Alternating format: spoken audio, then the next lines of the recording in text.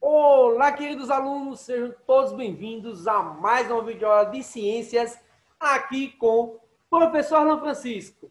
Bem, pessoal, logo antes de iniciar nossa aula, peço encarecidamente a vocês que vão deixando esse joinha, certo? Que é muito importante para fortalecer o canal. Então, vamos ver qual é o tema da aula de hoje? Bem, pessoal, só lembrando a vocês que a nossa aula de ciências é uma aula na modalidade EJA, uma aula voltada especificamente para o pessoal que estuda no sexto ano.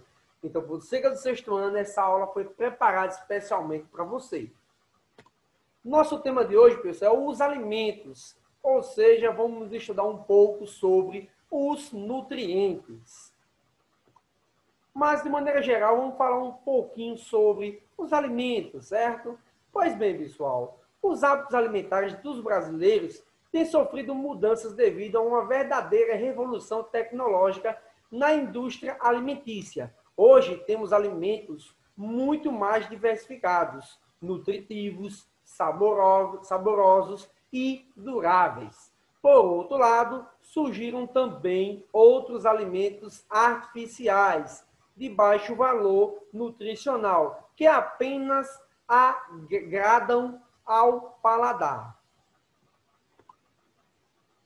Quando consumimos em excesso ou em longo prazo, podem agir como verdadeiras drogas que minam a saúde das pessoas. Assim, informa-se sobre o alimento que se consome pode ajudar a prolongar a vida e mantê-la com qualidade. E agora, pessoal, vamos falar um pouco sobre os nutrientes, certo? O que é que são os nutrientes? Nutrientes são substâncias presentes nos alimentos que desempenham funções específicas no organismo. São exemplos de nutrientes as proteínas, lipídios, carboidratos, vitaminas e sais minerais.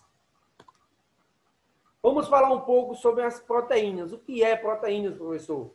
As proteínas são alguma espécie de matéria-prima dos órgãos do corpo, ou seja, o material do qual eles são constituídos. A musculatura, por exemplo, é forma de principalmente por proteínas. As proteínas formam também o sangue, a pele, os órgãos internos e os pelos e os cabelos. Alimentos de origem animal é fonte de proteínas, como carnes em geral, clara de ovos e leite e derivados.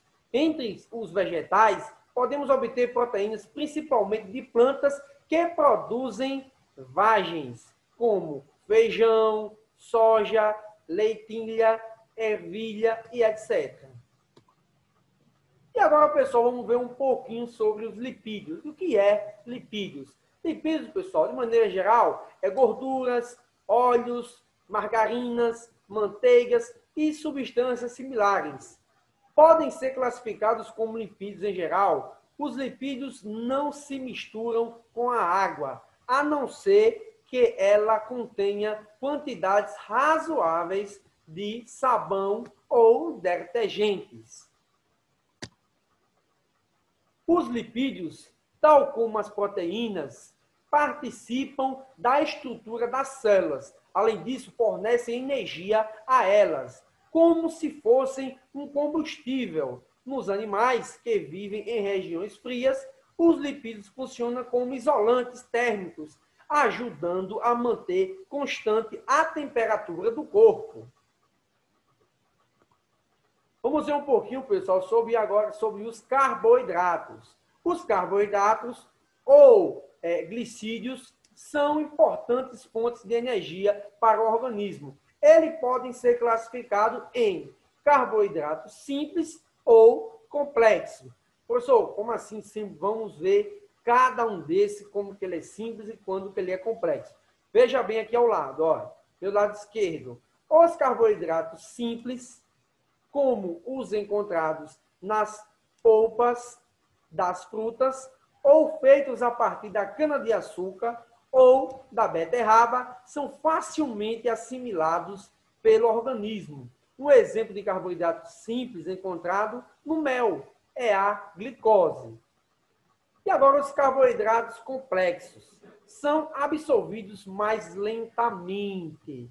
Podem ser encontrados nos vegetais, mas principalmente em farinâceos, cereais e grãos. Um carboidrato complexo de origem no animal é encontrado na carne de fígado.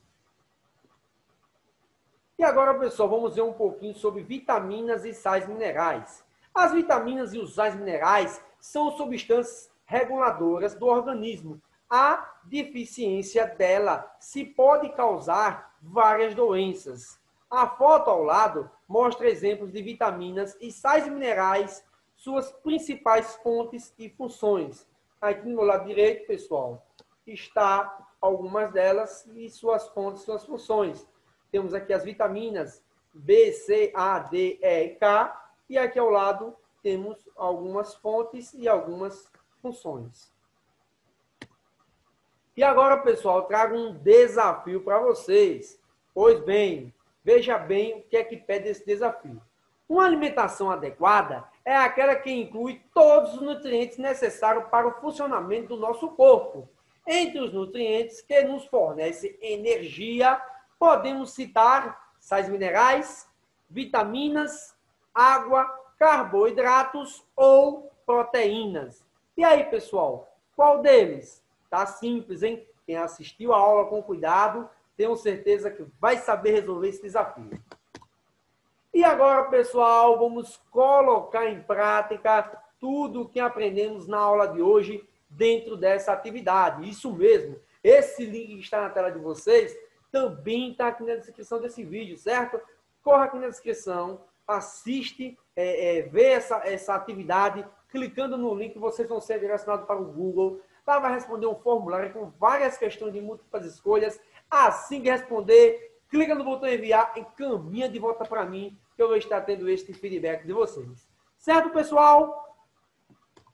E agora, pessoal, para fechar a aula de hoje com chave de ouro, trago essa reflexão para vocês. Veja bem, olha.